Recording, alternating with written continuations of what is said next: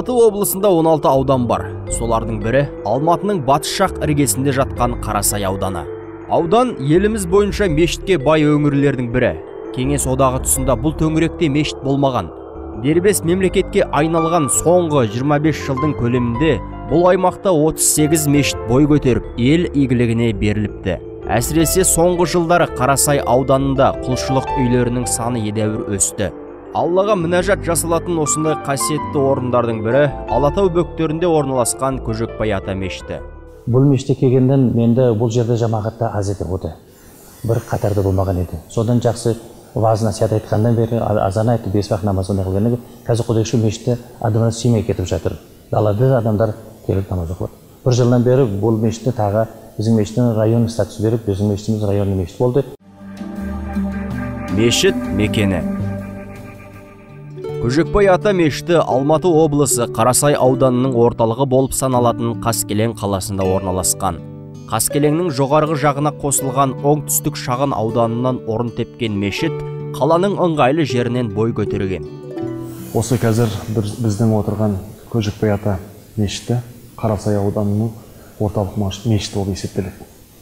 Бұл мешіт таудың етегінде өте бір мамыражай тыныш жерде орналасқан яғни көшенің бойында қаладан шыққан кезде жоғарғы жолдың бір жарым шақырым километрдей төмен жерде орналасқан жамағаттың келіп кетуіне халықтың қатынауына ыңғайлы.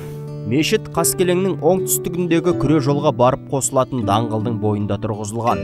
Төңірегінде негізінен жаңадан соғылған тұрғын үйлер шоғырланған. Алла үйіне деп соғылған бұл ғимарат жолдың бойынан айшықталып көрінеді. Мешіттің көршілері өте жақсы әдепті кісілер. Және де осы көршілеріміздің бірнешеуі мешіттің бес уақыт намазынан қалмайды. Және біз көршілерімізден жақсылық қана шамасы жеткенше көмектесіп осы мешітіміздің көркеюіне мешітіміздің жақсы болуына қолдарынан келгенше бар жағдай жасап ілтипатпен өзара татулықпен араласып тұрамыз. Мешіт тарихы.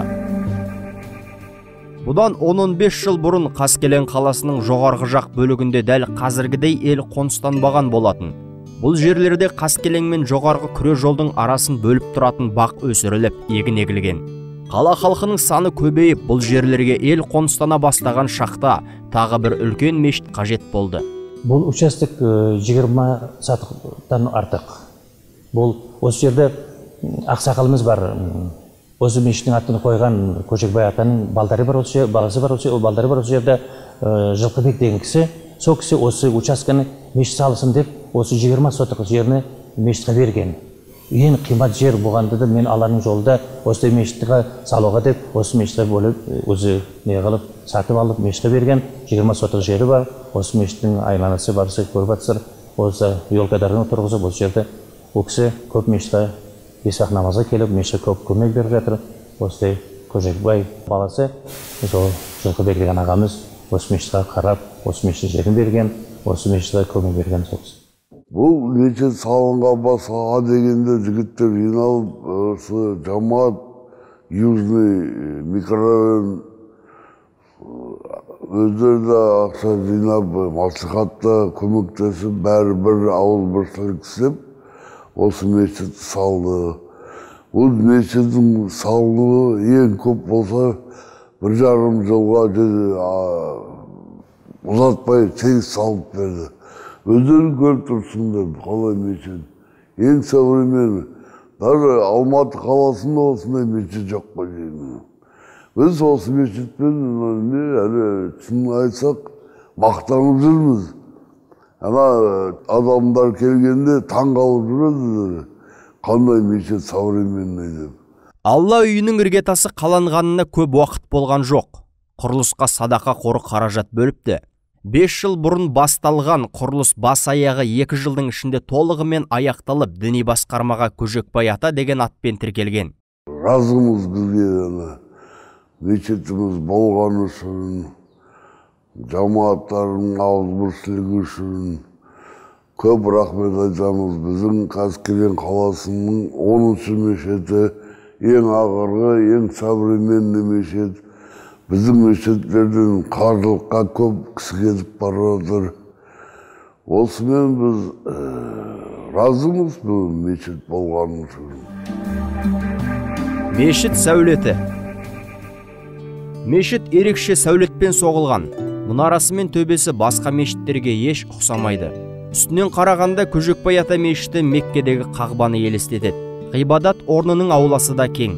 Жұма және айт намаздарында сыртқа шығып кететін халық үшін аулаға тас тақташалар төселген.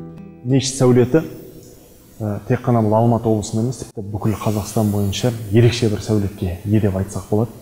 Себебі күніміздегі өте заманауи стильде салынған және бір көрген адам қатты қызығып бұл мешіттің қандай стильде және қандай екендігін ішіне көріп жаңағы өз ішіне кірген кезде өздеріңіз көріп тұрғандай әйнекпен қапталып қыстың күні жылудың күн сәулесінің түсуіне жаздың күнінде жарық болуына өте бір ыңғайлы жағдай жасалған.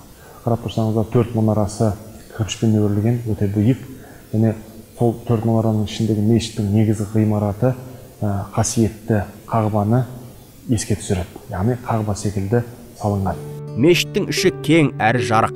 Қабырғаларының жоғарғы бөлігі біртұтас терезелер болғандықтан мешітке жоғарыдан табиғи жарық түседі. Жаңа мешітке арнайы тоқылған кілем төселген. Ішінен қарағанда да мешіт үлкен текшеге ұқсайды.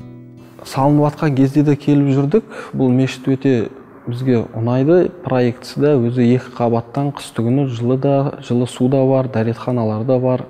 Өзі кен үлкен алдында алдыңғы алаңында бар намаз оқысақ жамағатымыз кейде сыймай кеткен кезде де алдына шығып оқуға да болады.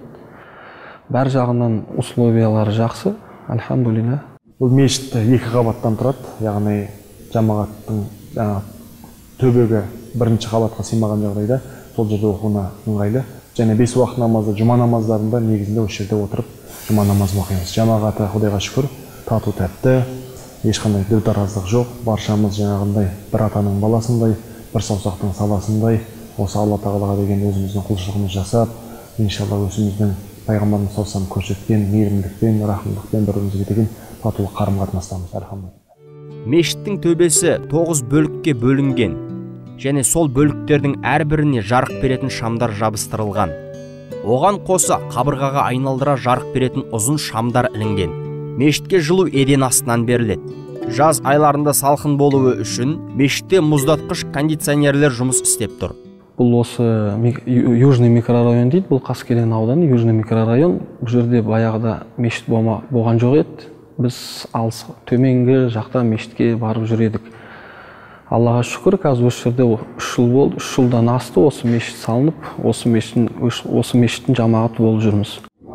Мешіт сөзіміздің басында айтқандай табиғаты өте бір ерекше таудың аясы иә таудың етегінде тамаша бір көрініске яғни панорамаға ие бір мешіт және бұл мешіт осы қарасай ауданының бас мешіті аудандық мешіт болып саналады. Осы жерде біз осы ауданымызда шамамыз жеткенше ислам дініне осы мұсылмандарға қызмет ете береміз осы мешітке алматы облысының яғни қарасай ауданындағы 38 мешіт осы мешіттің аясында осы мешіттің қарамағында. Міне мешітіміздің тағы бір ерекшелігі осы ауданымызда ең жаңа мешіттің бірі болып есептеледі және өзінің ерекше заманауи сәулетімен де бұл мешітіміз тек қана ауданымызда емес бүкіл қазақстан бойынша ерекшеленеді мешіт жамағаты. Әсіресе енді жұма бұл жамағатымыздың ерекше көп жиналатын уақыты. Сол жұма күні барынша жұма уағызына шамамыз жеткенше дайындалып тыңғылықты уағызды дұрыстап жүргізуге тырысып жатырмыз. Және де осы бес уақыттың ішінде өзіміз бар наиб иман ағамыз бар.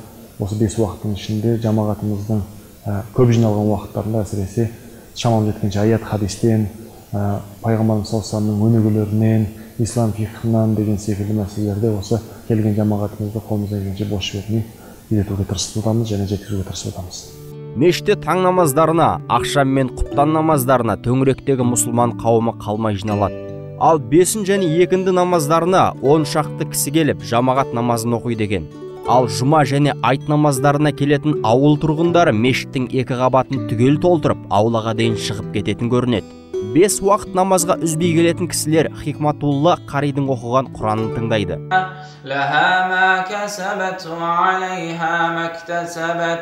لها ما كسبت وعليها ما اكتسبت ربنا لا تؤاخذنا إن نسينا أو أخطأنا أنت مولانا فانصرنا على القوم الكافرين мен өзім осы мешітте ұстазбын өте келгендерге жамаат немесе құран үйренеміз деп келгендерге соларға құран үйретемін құранна әрине әрбір мұсылман адам үйрену керек мен мұсылманмын деген кісілер өйткені аллах субханала тағала бізге осы құранды түсірген ә, біздің жолымызды көрсеткен осы құранда Ә, осы құранмен жүруіміз керек құранға амал етуіміз керек ә, ертең де бізді шафаат ететін нәрселердің бірі сол қиямет күнінде құран болады ә, қиямет күнінде құран келіп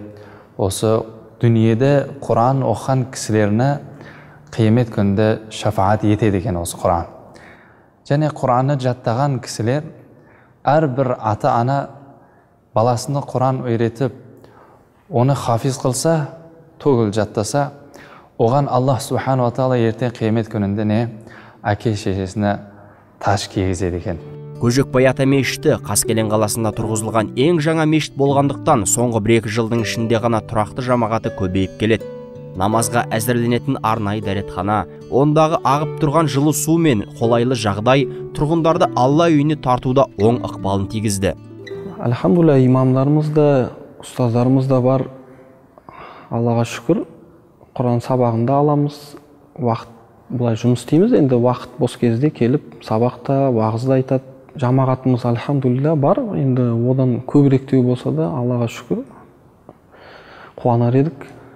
Осындай бесін уақыттарда кейде аз болып қалады енді. Бірақ альхамдулилля. Шам намазға құптан намазға көп жиналады а бесінге кішкене а, жамаат аз болса да ну э, бұл намазымыз қабыл болсын дейміз. Алла тағала біздің істеген ниеттеріміз қабыл болсын оқыған намаздарымыз қабыл болсын. Осы сендердей жігіттерге де рахмет көбейтіп осылай біздің жамааттың көбейгені дұрыс. Имамымыз аллаға шүкір әйбат жақсы. Ашылғанына аз ғана уақыт болса да күнделікті діни қызметтер атқарылып жатқан мешіт. Бүгінде қарасай ауданының негізгі құлшылық үйіне айналып бас мешіт мәртебесін алды. Өзінің айрықша сәулетімен де орналасқан мекенімен де тартымды ғибадат орны алдағы уақытта да ел игілігі үшін қызмет ете беретініне сеніміміз мол.